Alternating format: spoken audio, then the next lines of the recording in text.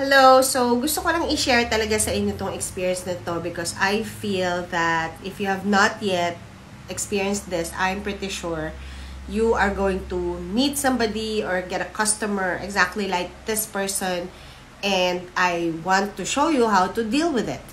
So, the purpose of this is to show you that it's okay not to give a refund, especially if a refund is not deserved.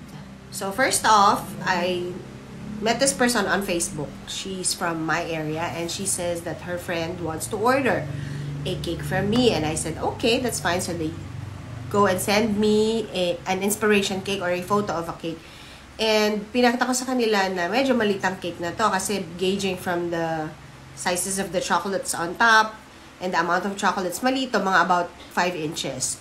So gusto daw nila ng mas malaking cake pero ayaw nilang magdagdag. Yon. So, just to show you, ito yung original na cake. Yan. But they want a bigger cake, pero ayaw nila magdagdag ng um, amount para sa dagdag na chocolates. So, kung mag, ano lang yung kaya ng budget, yun know, parang pagkasyahin na lang natin. So, fine, di ba? Madali rin naman ako kausap. So, gusto nila 7 5 by 5, you know, all same everything with the little liquor bottle and all that. Um, problema lang is, syempre, kukunti yung chocolate. So, in-explain ko naman yan that there gonna be, mga chocolates will be spaced out kasi malaki yung space pero makonti yung chocolates. So, I said, um, I'm gonna, what I'm gonna do is I'm gonna buy a few local chocolates para, you know, hindi naman sobrang luwang, sobrang parang kulang-kulang. So, again, they said yes. Madali naman talaga silang kausap, di ba? Comes the day of the event, I'm doing the cake, I send them a picture of the unfinished cake. Sabi ko, ito na yung 7x5. Ganito magiging sura. We put Oreos, we put chocolates, and um, sa gitna would be the liquor bottle. Pero mukhang masyadong malaking space. So, would you like me to add anything?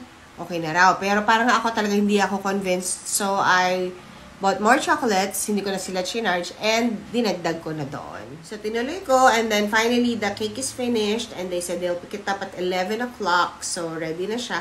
And again, I send this, this is the final, final photo of the cake. So, wala naman silang sinabi, they just said they'll pick it up, and then bago, oh, no, and then they pick it up. Pero hindi nila siya pinick up ng 11 Pinikap nila around 2 p.m. na ganyan. So, sanay na tayo sa ganyan. Part 2. Okay, here's part 2. This is the mo more exciting part. Ang nangyari ay um, yung the person I met on Facebook was one who picked up the cake and paid for it. So later on, she messaged me after she picked it up. She messaged me and she said, pwede daw po bang bawasan yung presyo ng cake? So, so this is my answer. Bakit? I mean, what is the reason why are you asking for um, bawas ng presyo? Wala naman akong binawas sa cake mo. In fact, nagdagdag pa nga ako, di ba? So, um, apparently marami silang reklamo. So, ayaw na niyang, ayaw niyang bayaran yung kumuha ng cake na kaibigan niya kasi hindi daw yung hindi daw ganoon yung cake na order niya. It was designed differently. Diba? I sent you several photos. In fact, I offered, see? I offered kung hindi mo bet yung design na kinalabasan ng 7x5 from a 5-inch cake. You are not. I'm not forcing you to buy it. I mean, you can cancel it and I don't mind. Dapat hindi, di ba? Dapat hindi mo pwede i-cancel. Pero dahil, you know, I have a lot of cake orders. Look, I have like 18 cake orders and gugulo lalo yung mundo ko. So, I have an identical order, so I was so okay with them not getting that cake, pero kinuha pa rin nila. And then when they already have it, they complained and said, nag-aaway sila kasi gustong bayaran ng customer ng 1,000 lang. And syempre, binayaran ng buo nung kumuha dito. So, nagkakagulo silang dalawa. And, uh, umabot sa point na gusto daw ako kausapin nung customer. I was having a really, really hectic day and I didn't have time for that. So, sinabi ko sa kanya, actually, look, I, I don't think that this is, the design is the problem kasi I, I sent you photos several times and you did not complain. And now you want to tell me you want to pay only this much. Where's the logic in that?